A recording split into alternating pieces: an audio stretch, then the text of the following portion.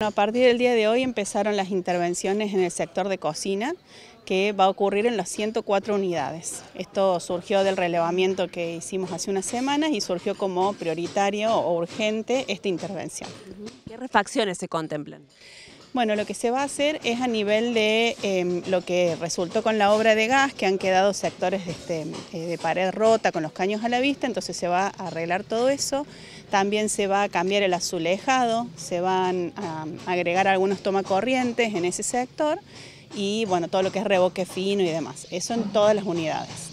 ¿Y cómo se han organizado con los estudiantes que habitan estas unidades que están siendo reparadas?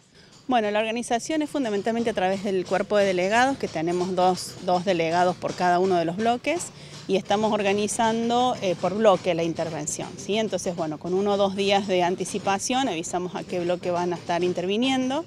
Y bueno, como no hace falta que sean relocalizados los chicos, nada más es bueno, un poco de ruido y demás, eh, un rato, este, lo podemos hacer con quienes estén acá, eh, que, se queden, que se quedan estos días, todavía no se han ido a su casa, o si se han ido, podemos intervenir el sector de la cocina de igual manera. Luego de finalizar estas intervenciones en las cocinas, ¿cómo continúa?